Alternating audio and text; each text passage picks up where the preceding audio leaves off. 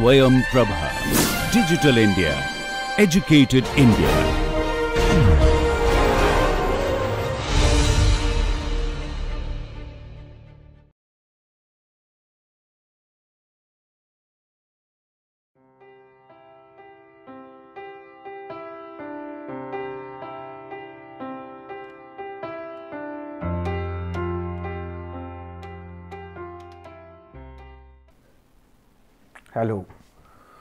Will discuss full factorial design with single replicate.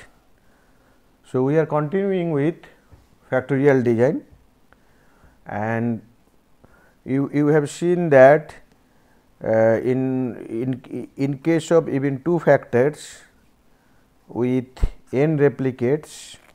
So, we, we require a b n this number of experimental runs. Now, it may so happen that there is resource constraint for example, maybe if you are using raw material maybe the batch is not sufficient enough to conduct n number of replications for a b experimental different settings.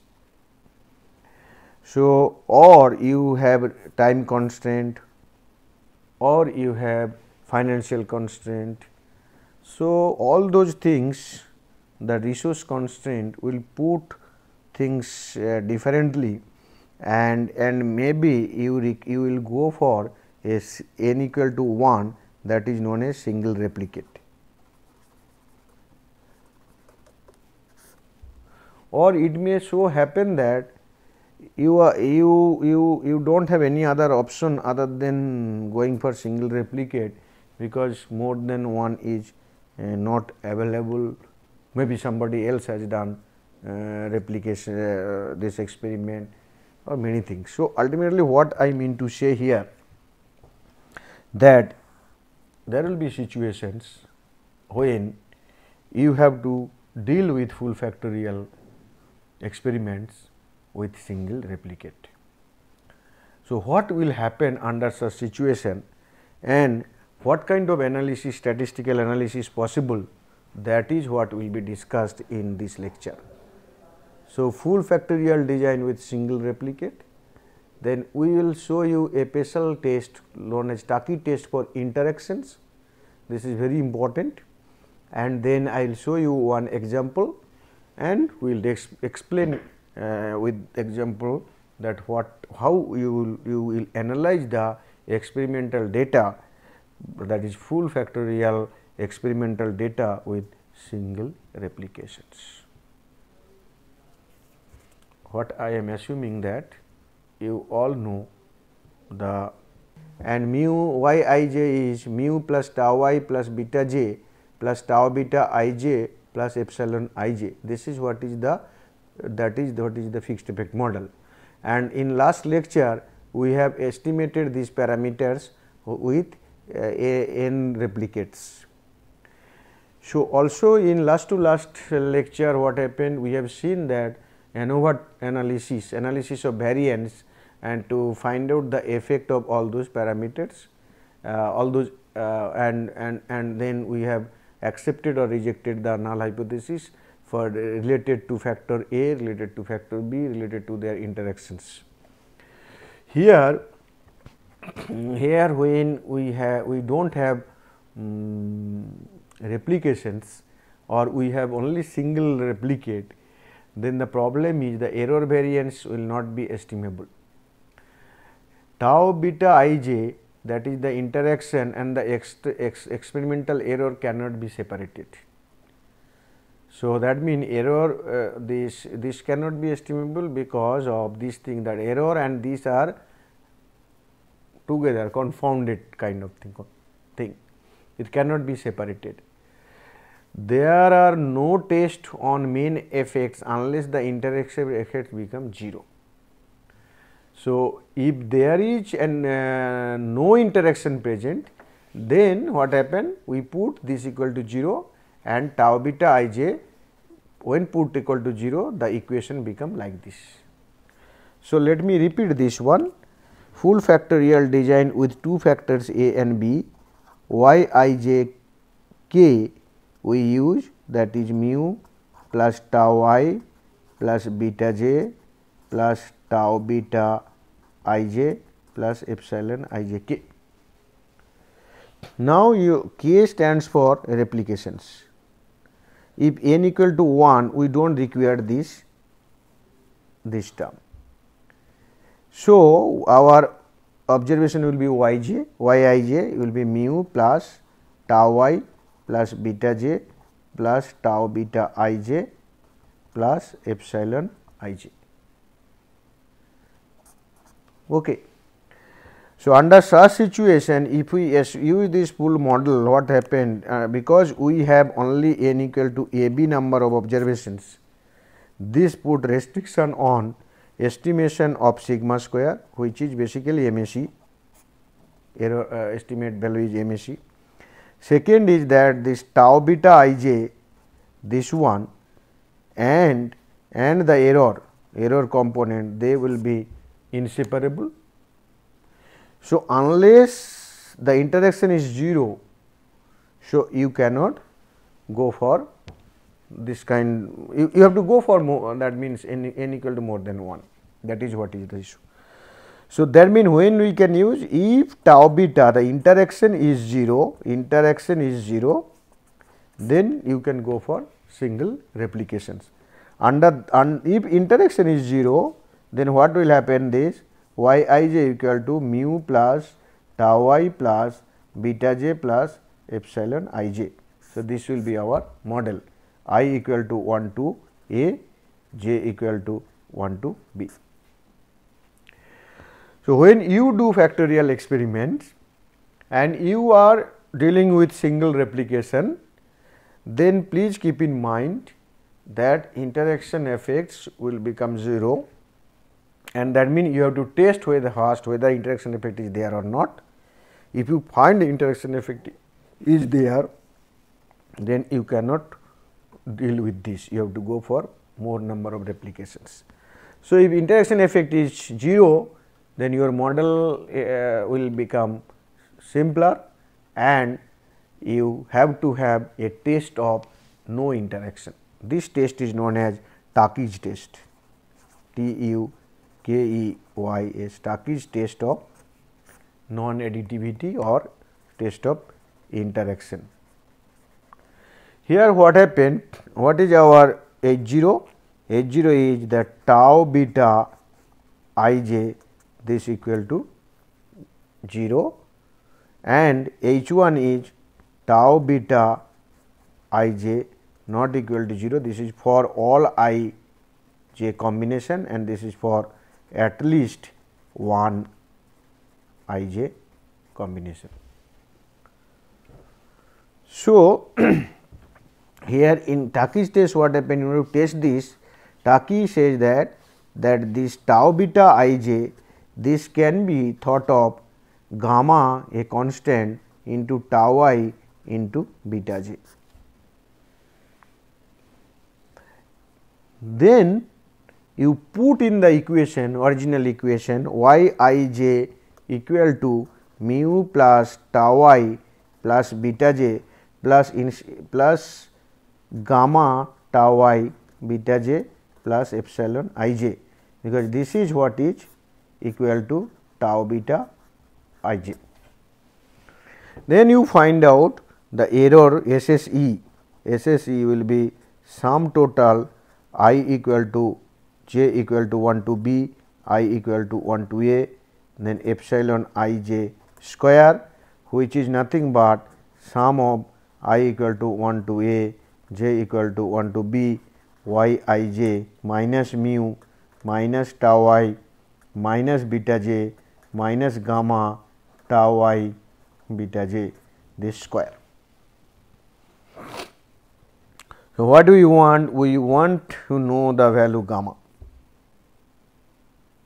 So, if you do derivation with respect to gamma, then what you will get? You will get 2 sum total of i equal to 1 to sum total i equal to 1 to a, j equal to 1 to b, then all those things will be there. Y i minus mu minus tau i minus beta j.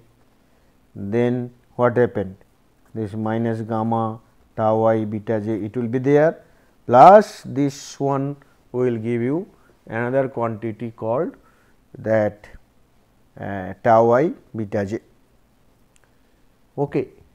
So, this will give you plus into tau i beta j. Put this to 0 and then find out gamma, find out gamma. Now, let us see because this derivation uh, will take little time. So, I, I, I have given you the way you have to done, you have to do it. Let us see this is the second slide here you see this become 0 you multiply all those things. So, the first quantity will be tau i beta j y i j, second one will be tau i beta j mu, third one will be tau i beta j square, tau i square beta j, fourth one will be tau i beta j square, fifth one will be gamma tau i square beta j square or tau i beta j whole square. This will become 0. Now, from this to this what happened this can be the second term we as there is no j tau i is not involved with j we can bring here. Mu we can bring to the left. That means one I just give you one uh, one symptom. For example the second term is minus i equal to 1 to a j equal to 1 to b tau i beta j and mu so, this term mu is independent of i j we can write minus mu sum of now tau i is independent of j. So, we can write tau i i equal to 1 to a then also we can write j equal to 1 to b beta j this can be written. But you all know that tau i sum and sum of beta j they are 0. So, this quantity becomes 0. In the same manner the third quantity this will become 0 fourth quantity will become 0. So, we have only two quantity left this one and this one this cannot become 0 because y i j is multiplied here.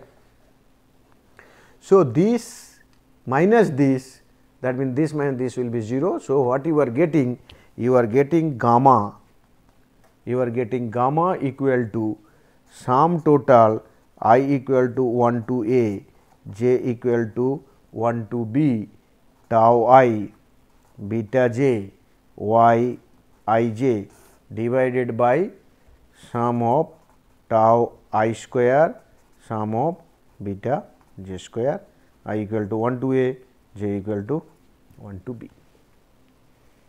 Okay. So, I mean this derivative putting to 0 will give you a gamma value. Now, using this gamma value we will calculate SSN. What is this SSN? That is sum square non additivity in polynomial. This is basically test of interaction. So, that means it is no, the interaction is the tau beta i j is multiplicative with tau i and beta j that sense it is not uh, additive to that. So, SSN is this this we have seen because this is the interaction square sum of this. Now, tau beta i j we have considered at gamma into tau i into beta j. So, that square will be that mean gamma square tau i is beta square this square this can be written like in this manner. And then gamma square value you put here this is the gamma square value you put here. Now, tau i square beta j square this value will be there so, the lower portion tau i square beta j square this is square term. So, this and this cancel out. So, in the denominator 1 tau i sum of tau i square into uh, sum of beta j square this will remain and the numerator is the sum of this square that is i equal to 1 to a j equal to 1 to b this square. So, what we will write this one the we know the estimated value of tau i we also know what will be the value of beta j.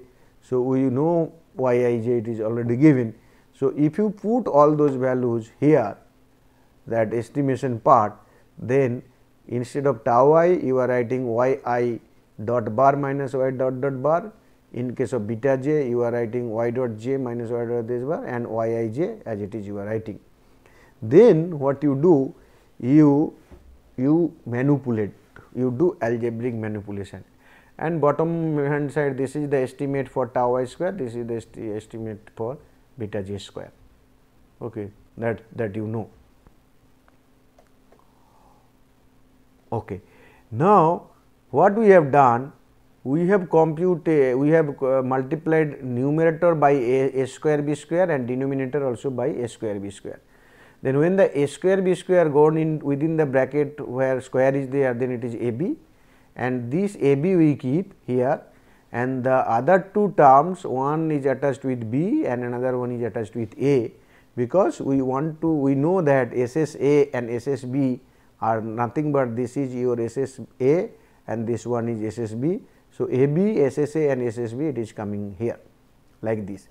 Now, here Yij this one now, if we if we know that y j equal to 1 to b y i j is b y i dot bar. Similarly, i equal to 1 to a y i j is a y dot j bar. This is known to us. So, if you put here in the in in the new in the numerator, so that means y i j y i dot and y dot j y dot j minus y i dot and this this quantity you will get. Okay. So, this quantity it is just basically the uh, all those summation kind of things and, and okay. So, you get from here to here and then with the with the a b and other uh, y dot j this one this can be further uh, manipulated like this and and these finally result into this. So, what I mean to say here that this, this although the equations here looks like a very uh, complicated one, but please then there is only algebraic manipulation there one after another. I have given all the steps. If you could not understand further, you please put your question in the discussion forum. So, if I do the algebraic manipulation, it will come to come like this. So, SSN equal to i equal to 1 to a, j equal to 1 to b, y i j, y i dot, y dot j minus y i double dot SSA plus SSB plus y dot dot square by AB into square by AB SSA into SSB. This is the quantity, this is a statistic which basically tests the non non additivity hmm, that is the interaction interaction present or not that sense we will, will use it and this one follows chi-square distribution with 1 degrees of freedom. Okay. So, SSN is computed it is non additivity. Now, what I, we have seen that this is what we have seen earlier in the derivation y i j y i dot this one. So, this now our hypothesis is this then SS error is SS residual minus S s n you know how to compute SS residual these are the things we have discussed earlier so, once you know SST A and B, SS residual you will be getting from here. Now, SS n is all non additivity part, the other part is computed. The SS residual minus SS n will give you SS error. So, now this A, A will calculate, you will calculate a statistics for F 0 which is SS n by its degrees of freedom by SS error by 8 degrees of freedom and then this quantity if greater than the threshold f value, then we null hypothesis will be rejected, then will be interaction will be present. Our null hypothesis is no interaction. Okay. After that, once you are satisfied with the with the um, test that no interaction is there or interaction is absent, in that case what will happen? That interaction part will go to the residual part and you will compute the row treatment, column treatment using the traditional usual formulas. Total you complete using another formulas and then residual or A b by subtraction and these are the degrees of freedom. Similarly, calculate mean squares and and then compute the f and you see that whether row treatment effects are there, column treatment effects are there or not. but please remember interaction effects you are not putting into the ANOVA because interaction effect will not be there and that's this will be this is basically only error is there. And the expected mean square from theory that means if you say that expected value of MSA will be this, expected MSB will be this, expected residual will be this and it is expected that expected value of MSA and MSB will be more than expected value of MS residual. So, that means this added quantities this will be this and this uh, this will be your uh, will be significant more than the and then this added quantity this one and there will be significant effect. So, one example very quickly the two factors A with 3 levels and B with 5 levels. Suppose affect the response y we have not and not assumed any physical meaning to A, B and response just for the for the sake of making you understand the computation part we have chosen this example and the analyst has observed single response everywhere single response and the part on the value of each treatment combination the experimental data is given below. So, this is a case of single replicate. Now, what you require to do? You first find out the interaction if it is there or not. Now, row total, make column total, make, make overall total and then when you you test the non negativity part using this you use this and use f 0 that value is basically 0.1667 that is the sum SSN. SSN is this, SS error is this one and you see that the F 0 value SSN by degree of freedom divided by SN error by degree of freedom. So, this value is basically and this value is point uh, this value this divided by this this value is 0.07. So, 0.07 it is insignificant value because if you compare this with the theoretical value like f 1 7 alpha equal to 0.05 it will be much more than 0.07. Similarly, if you comp compute the Beige effect this value f 0 is 1.07 it is much less than the theoretical one, but A effect is significant. So, because this 5.51 is more than f 2 7 0.05. So, A effect is significant, interaction effect is not there and B effect is not significant. So, what we can conclude here the factor A has significant effect on risk.